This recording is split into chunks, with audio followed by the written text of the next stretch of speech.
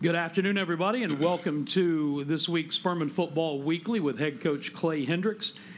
Paladins coming off of a 23 13 win at Mercer back on Saturday, and the new polls released just a short time ago. Furman is up to 13th in the coaches' poll, now number 12 in the media poll.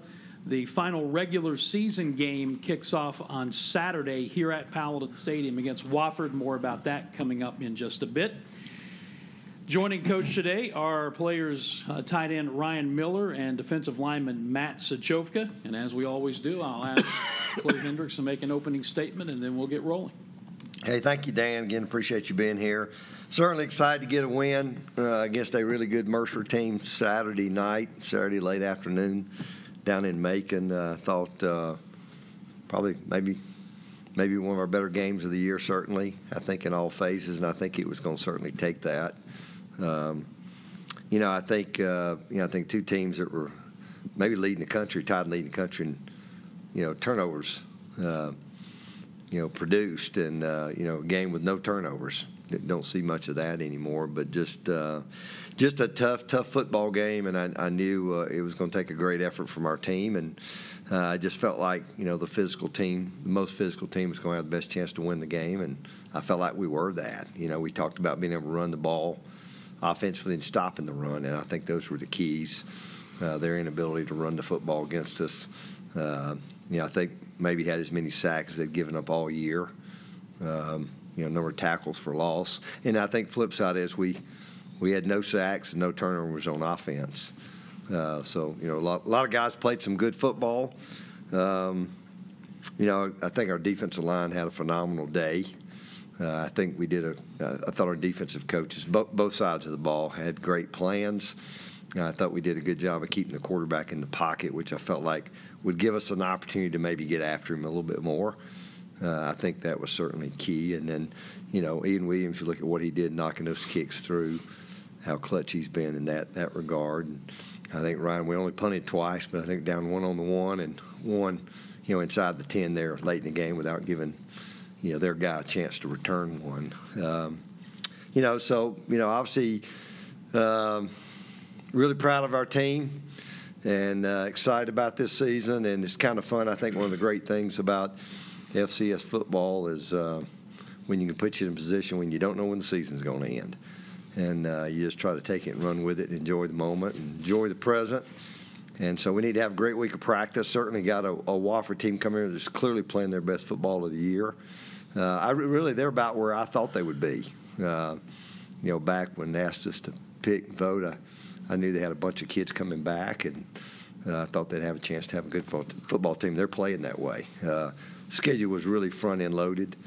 Um, you know, where ours was kind of back in. I guess we got some of it a little bit throughout, but uh, but again, they're playing their best football, and I think we are too. So uh, it'll be senior senior day here, and I don't know. Senior day is a little different than it used to be. Uh, I think we'll have some guys probably that'll that'll be recognized Saturday that'll actually be playing next year.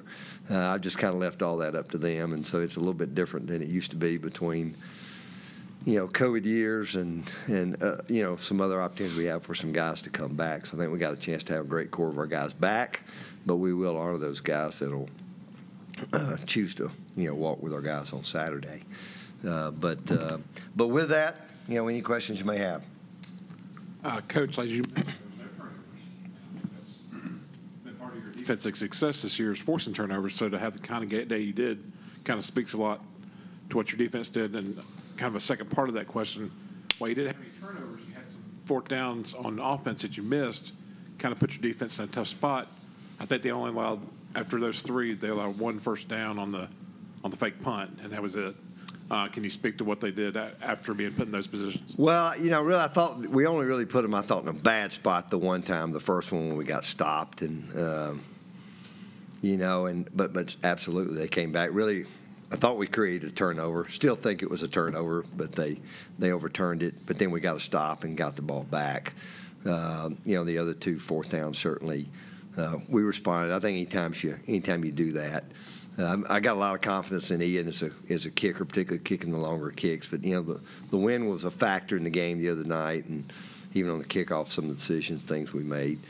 Um, but no, they just just kept responding, you know, and, and really, I mean, golly, you take away probably the deep ball, you know, the one deep ball they hit, only a couple of things. I just, you know, to, to hold that group that nobody's done uh, to to what we did uh, was phenomenal. Speaks, you know, volumes for you know our defensive staff and our players. Had a great week of prep, um, and certainly it, it paid off for us. Um, there was a couple of times in that game where I think there were really momentum boosters for, for Furman and probably deflating moments for them. He mentioned uh, Scott mentioned this the fake punt. Uh, a couple plays later, I think that the the ball's tipped up in the air. Their quarterback catches it and, he- and he loses 15 yards. And I also think the blocked field goal prior to the half. Would you just speak about those two plays and how I think that was demoralizing for them, and, and just talk about your defense, how they responded to the fake punt. Yeah, you know, it's funny. I think the fake punt, and we went. I think they went three and out after that. And you know, obviously, we were in a situation where we should we should have had the ability to stop it. We didn't get it done, but we we went three and out of them. You know, after that. Uh, you know, the field goal after giving up the return before the half, and you know, I just I didn't you know put that on me. I did not want to kick it to number one. Uh, we didn't make a very good kick. You know, and, and didn't tell you that too. We kicked it right to the guy, and then we didn't even cover it very well. They had a couple throws get down there, and you know, we had a couple of timeouts. I literally told our guys, I was going to call the first one, and I said, so I'm going to call this one. I said, but I'm not going to call the second one, and uh, you know, and you know, it's not like we're a sophisticated group. You know, when it comes to what we're doing, rush. I mean, we're doing a great job of getting great push in the middle. And man, go watch that clip. You're talking about just effort of guys just getting there. And I was literally standing there, you know, about about even with the ball and.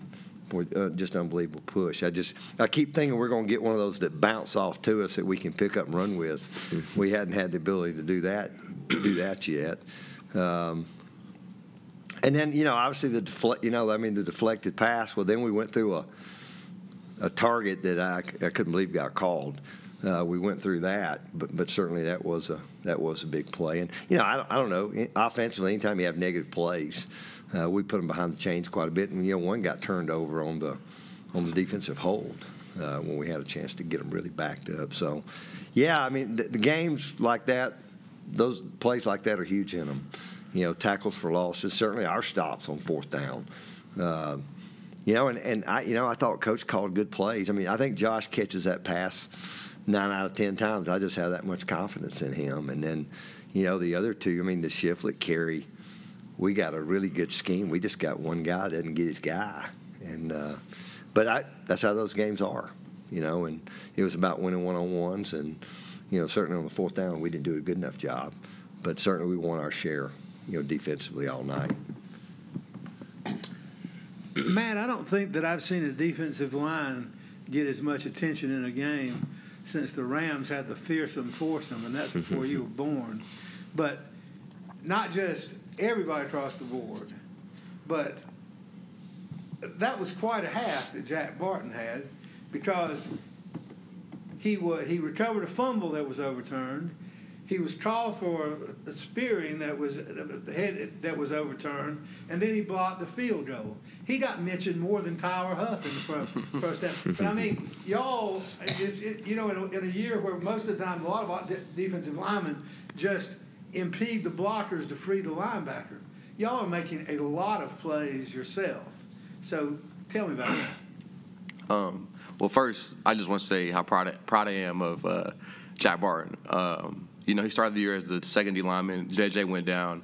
And just to see where he's come in the offseason, he was working his tail off, getting bigger. And I mean, everything just came to fruition. Just him, all these plays he's making, he's having a good time. He's playing free, and he's so much fun to watch right now. And he brings, you know, a big piece to just playing with me and Cujo. Me and Cujo are kind of the big guys, and Jack is the nimble, fast twitch guy that gets to make the plays. So, um, I mean, it's just awesome to see this group, especially the young guys, come together. And K. Lou said he thought, or Coach Lewis said he, he thought Mercer thought they could run the ball on our uh, two deep because they're a younger group, and they didn't. So, just as a whole group, you know, doing what we do, it was it was awesome to see throughout the whole year, really. Ryan, as a guy who knows something about catching the ball and, and, and doing what, what you're supposed to do as a receiver. Just interested in your thoughts on what we've seen about the, the maturation and, and the continued improvement of Joshua Harris. Yeah. Because he, he had obviously a phenomenal, phenomenal game on Saturday from your standpoint as a teammate and, and seeing him from last year to this year, just your thoughts on him. Um, yeah, I love Josh Harris, and just to to see the way he's grown throughout this year is incredible. Um, we've been waiting for him to have a game like that, and it was exciting to see for sure. Um, he's a big playmaker. Um, we know what he can do. He has all the skills, all the tools to be a great receiver, um, and he is, and he continues to grow each and every week. And uh, I'm just proud to to watch the game that he had. So he really stepped up for us this week. Coach, obviously there's 150, 100 plays in the ball game or whatever, but looking back on it, uh, how much of a tone was set on the first snap when Bryce McCormick blitzes and gets in there and throws him to the ground? I mean, that just kind of that's kind of how the day went. Yeah, you know what? Uh, you know, kind of the emphasis. All, you know, they heard me say it a few times. It was about attacking. You know, and I think, you know, I think a little bit of the nature of who they are, what they do, can get people to, you know, a little bit tentative just because of all the stuff that you're looking at sometimes. And uh, and you know, they were taking a shot. They were going to take a shot first play, so they were going to be aggressive and, and certainly great call by coach. And then, yeah, I, I think that was big. I, you know, it's funny that that's kind of how the game went. I thought, you know, by and large. Um, you know, and I think, you know, even offensively, I felt like, you know, we were in attack mode. You know, I thought, you know, we felt like we left some points on the field, you know, the way we moved it, you know, but to be able to, you know, get get, get the yards we had, be able to run the football and do the things that we did. Um, and again, I just think, you know, that's how you have to win those games like that. And, and again, I think they'd gotten a lot of people on their heels, particularly early in games, um, just because they had been a big play, you know, producing group. And, um, but but certainly that play that play was huge. Um, Matt, this has been sort of a kind of a revenge tour for you guys um, this season. Has there been an extra bit of motivation because uh, the two times pr- previous you played Chattanooga didn't go so well. Two times previous played Mercer didn't go so well, and and the East Tennessee game last year didn't go so well. So just speak to that. This team playing with a bit of a chip on its shoulder. Um, no, no doubt about it. Um, but I think it's it's easy to have a chip on your shoulder when you watch the film from the last two years and all those games, and you realize we weren't the aggressor, and that's not what we're about. Especially as a defense, I know as an offense, that's not what they're about. So, um, just kind of showing everybody we're a new team. Like you know, this isn't this isn't what we put on tape the last two years. We're better than that. So for sure. Right at the start of that game, Mm-hmm. it would be an understatement to say that your activities weren't tightly monitored. and I just wonder, it's, of course, those of us who watched all year, we sort of go, just wait. There'll be that time. Yeah. But I just wondered how you, how you handle that. Do you dawdle a little bit and then come alive and, and, and hit them, or do, I mean, what do you do? Do you just bide your time, or do you keep? I mean, you could easily get frustrated when you're being turned every which way but loose. How do you handle that? Because this is something that you're obviously very familiar with. Yeah. Um, I, I, th- I would say I just do my job um, for the most part. There are some times of frustration, but you know, I'll do I'll do anything for the team to win. Um, team comes first. It's not about it's not about how much how many stats I can pull, put up. It's about the team win at the end of the day. Um, and you know, I just go out there and you know make plays for my team when I can, and when I'm not, I'm blocking as best I can. So, team comes first always in my mind. Clay, every program these days, it seems, wants to hype its strength and conditioning and the trend, and we saw it at Mercer. You go to the fourth quarter, you got the strength coach on the video screen, you know, yelling and screaming and showing guys doing workouts and everything.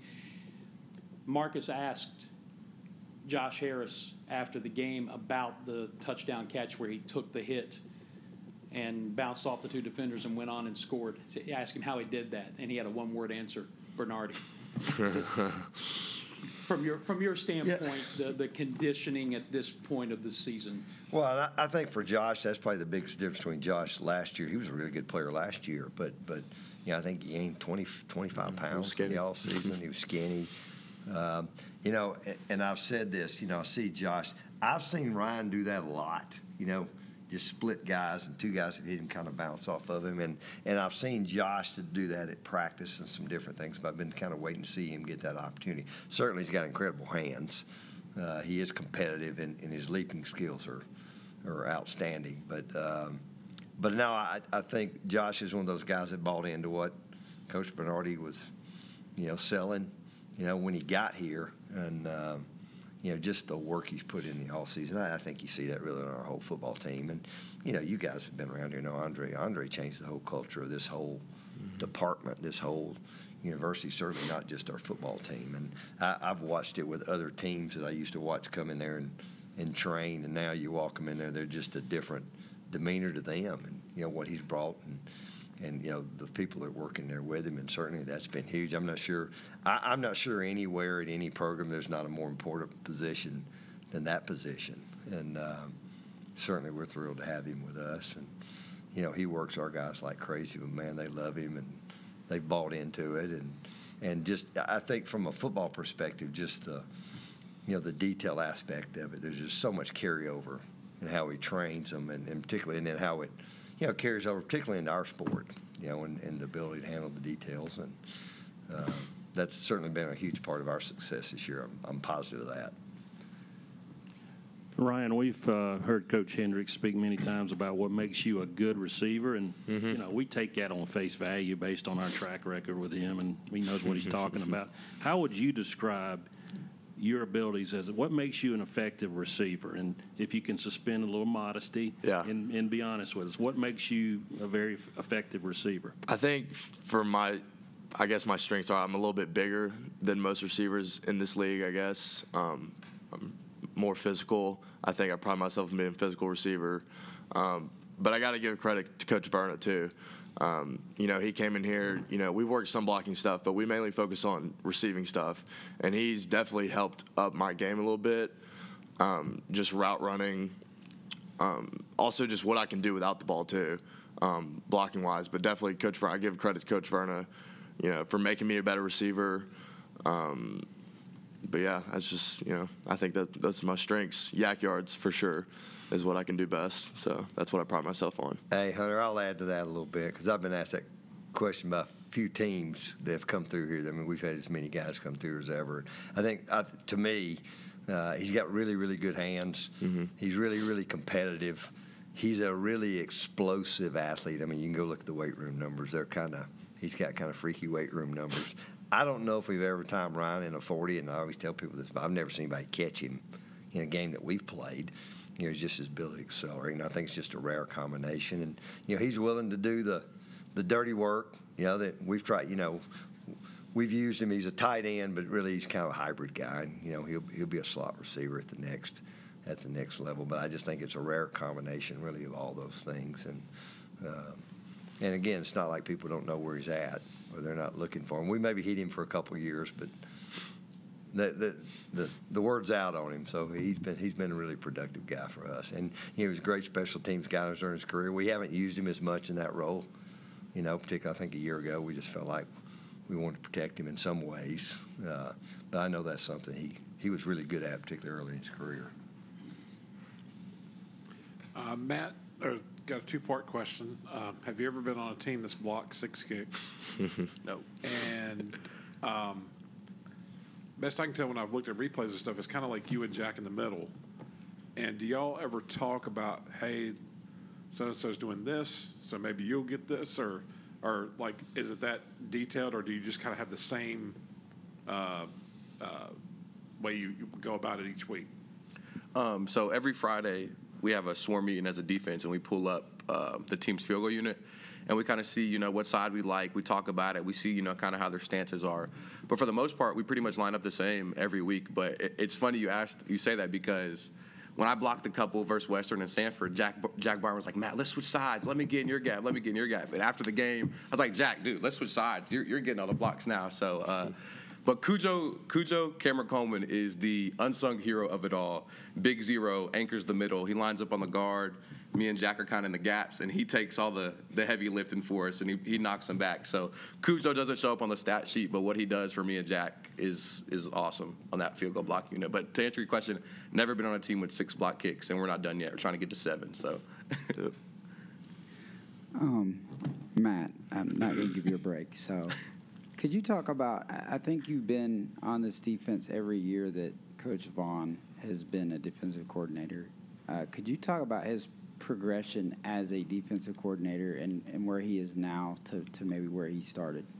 Um, I actually had this conversation with a couple of guys I played with um, that graduated this past weekend, and his first two years, I think Coach Vaughn will tell you, um, I don't think he was as aggressive as, as he is now. You know, I think he was kind of finding his his style and his scheme, but I think you look at him the last couple years, and I mean, it's it's been incredible. He really his his whole motto is like he lets the defense be ours, or I don't know if I said that right, but he lets us make it ours. Like it's the players' defense. Like he's like, go play hard for me, but this is your guys' stuff. GBG, the Get Back Gang, that's our culture, and he's just fed into that. He lets us be the aggressor. He calls it aggressive, and that's how we play. I was just thinking about the transition of this team, Clay, and from from the game against Samford when it seemed like a bad call, whether it was rattled you or it took you off or where just a dead period took the team down, to the fact that it now looks like if y'all get a bad call, it just makes you madder. I mean, it just, I mean, it's, it just makes it more. And it seems like to me there's a level of maturity change there in that you're just not going to let anything get in your way. And there's no more of this feeling sorry for ourselves and having a down period. It seems like nothing takes y'all off, off of your edge now. Well, you know, it's funny. Coach Spangler brought that up in a team meeting, and um, you know, we talked about. I remember going after then after that game, and you know, at the time, he didn't know the total ins and outs of what had happened. But I do know this: we, regardless of what had happened, we didn't respond very well to it, and certainly it was a huge part of that game.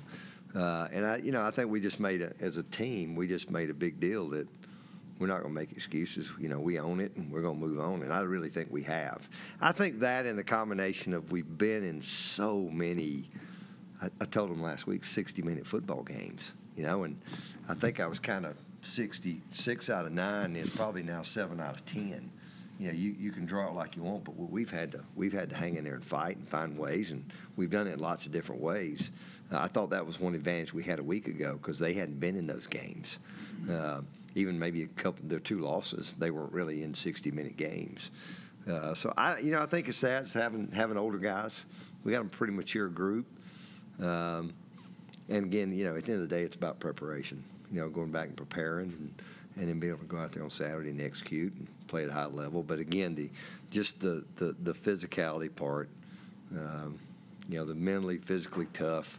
That's just something we have to be about around here. And um, and again, I've said it. We've we got some talented guys. We do.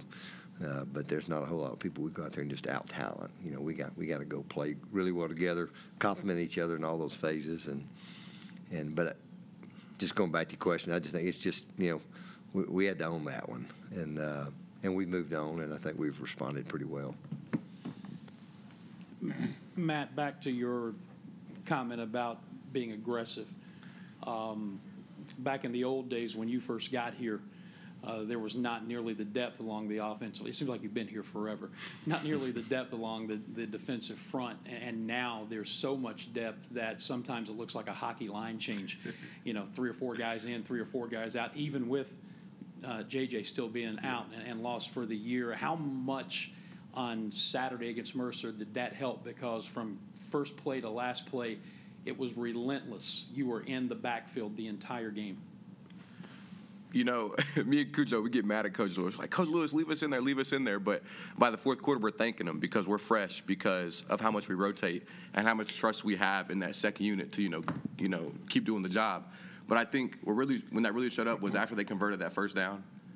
We've got a three and out the next series, and I think that speaks to how fresh we are throughout the game because of how much we rotate. So. Uh, Ryan, what is it like when you're out there on a, like a passing down, so to speak? Things break down and Tyler takes off. Yeah. How do you kind of? Is it you know you've not really played with a guy this with this much running ability before, so how do you kind of say, all right, he's taking off, I got to go into block mode? How, how does that kind of work? And do y'all practice that at, at Yeah. break? Well, first of all, I get sometimes I get a little nervous because you know Tyler's a very competitive guy. Um, he's he's one of those guys. He's one of those quarterbacks. He's going to put his head down and try to truck somebody, you know. But we we try to tell him the last you know a few weeks to you know he needs to slide, he needs to save himself a little bit. Um, but I think you know when he starts scrambling like that, you know. Trying to get open, but if he's just going to run it, then you know my coach tells you our job is to transition block. Um, we practice that a lot in practice, so I think that's just my job is just see if I can make a play for him by blocking somebody, um, and if he has a good run, which I know he can't. I mean, he's a great athlete. I mean, he's able. to I mean, if you saw the touchdown scramble, which is amazing, um, but you know, he's just that type of guy. You know, he's an amazing athlete, and you know, that's that's all about I can say about him. So. Um, Coach, uh, you got Wofford coming up.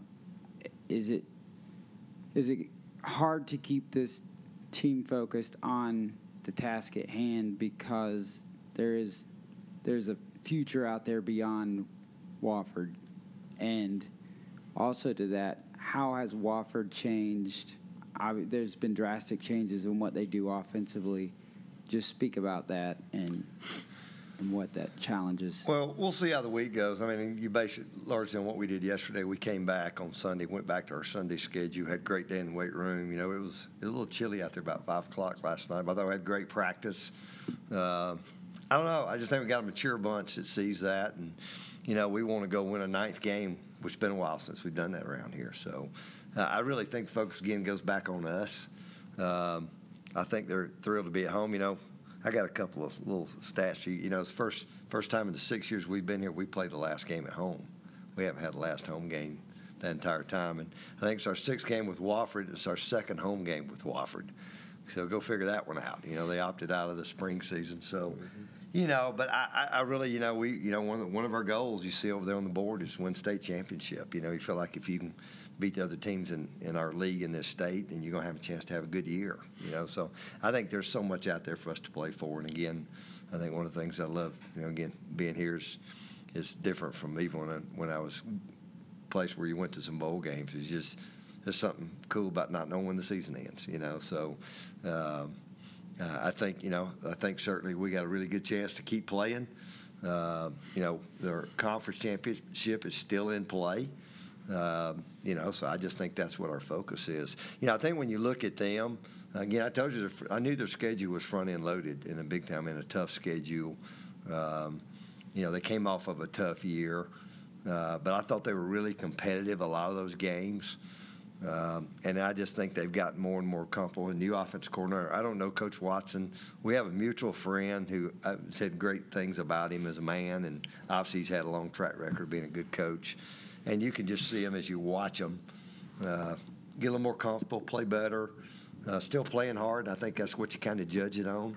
Um, they they even transitioned a little bit defensively uh, from what they were a year ago. Um, so I, you know, I, you know, I, I, I saw the onside kick one Saturday, and uh, you know, we saw fake punt Saturday. So I think we're going to see a lot of different things come at us, uh, which is kind of normal at this situation. It's a rivalry game, just being our proximity. Uh, but again, they're playing their best football of the year, but I think we are too. You know, so it'll be again getting fun week of preparation, and we'll need to have a great week of prep. And I have no reason to think we won't have a great week of prep. And um, but you know, just kind of excited to see what we can what we can do going forward. Ever since that Samford game, that was, uh, I sort of think that it sometimes it helps a team to be aware of its own mortality because it sort of gives you that we got nothing to lose. It relieves tension in a way. And nobody has that more than Tyler Huff, who had everything in the world go wrong at PC. And one of the reasons he runs over people is he's just, I mean, you know, he's, he's got, he, I mean, this is a whole new world for him. But I just wonder if you think that a lot of times the best teams take a lump along the way, and that's what turns them around. That's what makes them realize that if we don't play good, and I wonder if that if it had that effect on on y'all. And whoever wants to answer it can.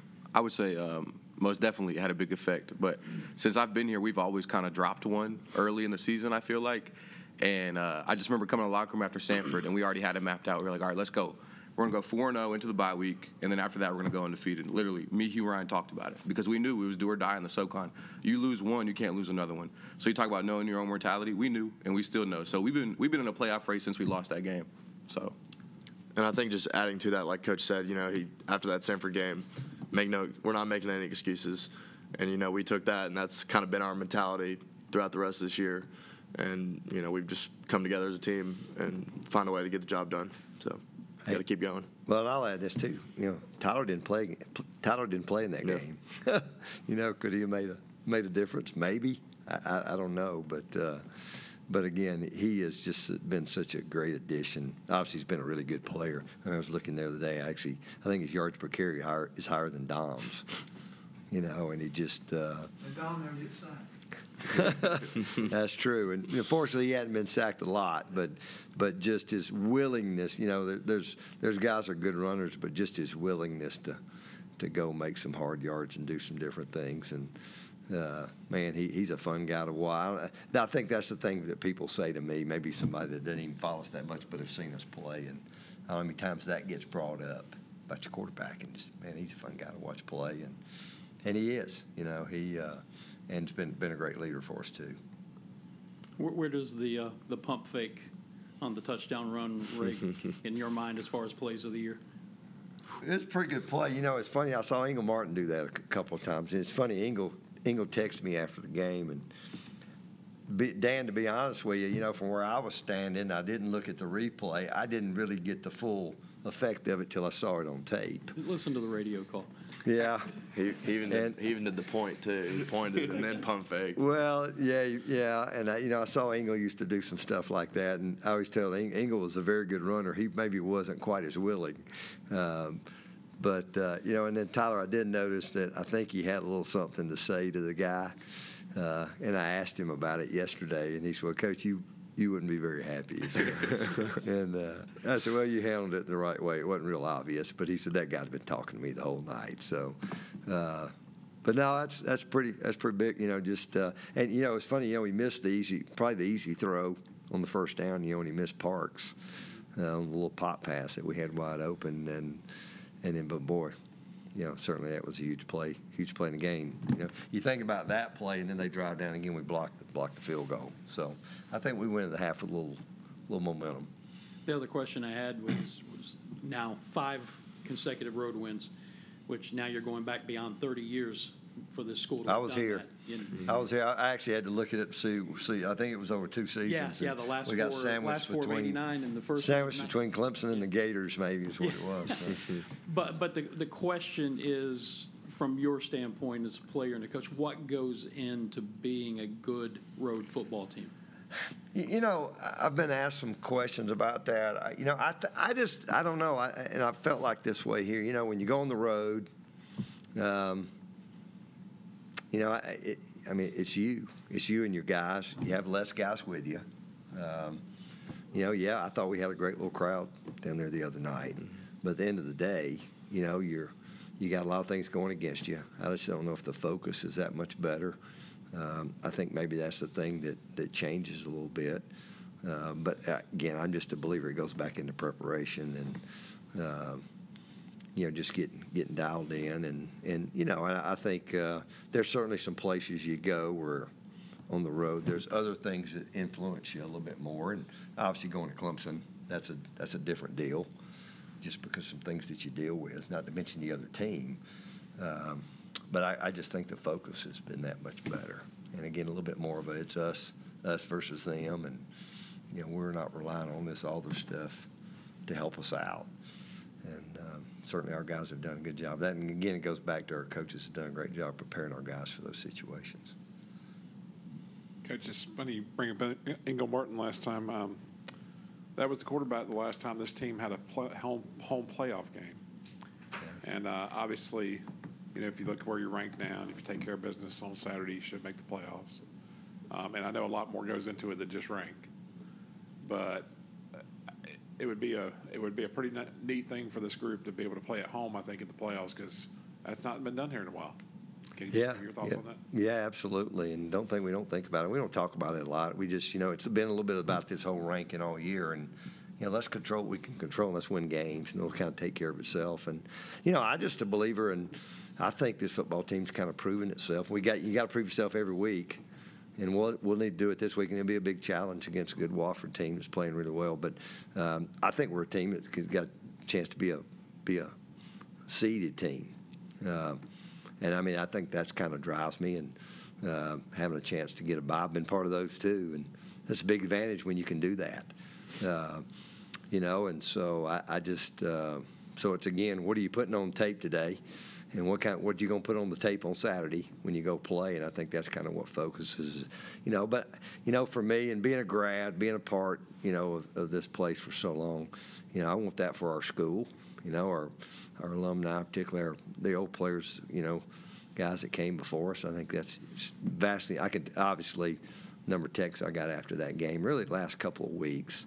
You know, winning does lots of great things for lots of people. It does, uh, you know, energize a lot of folks, and- which is a good thing. And uh, but no, I'm certainly excited about having a chance to keep playing. You know, and again, that's what you really ultimately that's what you get in it for, and and you want to you want to keep, you know, you want to go do what you can do, and you know, win a championship and have a chance to keep keep going. And uh, I think that's what's driving us right now. Any final thoughts from Coach Hendrix, Matt Sochovka, Ryan Miller? Anything before we get into wrap-up mode here? No, again, I, I certainly appreciate you being here. We're excited to come back. You know, uh, this time, I think this is week 15. yeah. Yeah, week 15 of practicing football. And uh, man, it was funny. I mean, you, you certainly. I think we've all been parts of teams. Sometimes you get to this point, maybe things haven't gone as well, but it's been kind of interesting the the energy that I've kind of felt out of this group going forward. And I don't think anybody's in any hurry to stop practicing anytime soon. So we'll need to go have a great week of prep and uh, got some cooler temperatures around here. Got a chance to be at home. Uh, so we're we're excited about about an opportunity and uh, chance to go play again. Well, as we get set to wrap it up, I'll just remind our fans that it's a huge weekend for Furman sports. The men's basketball team is in the Charleston Classic, playing their first game at 11:30 on Thursday morning. Broadcast time uh, on the Fan Upstate for the radio broadcast 11 a.m. and then games Friday and Saturday, depending on what happens uh, on that Thursday game. And then, of course, a noon kickoff for Furman and Wofford, the final regular season matchup of uh, this 2022 year at Paladin Stadium. 10:30 airtime for the Pepsi countdown to kick off, and then the playoff field will be announced on Sunday. So you can follow Furman's social media for all of that information. Clay Hendrix, Massachoka, Ryan Miller, thank you so much for joining us. I'm Dan Scott. As always, saying God bless you so long, everybody. This has been a Jeff Schetzel and Hunter Reed production.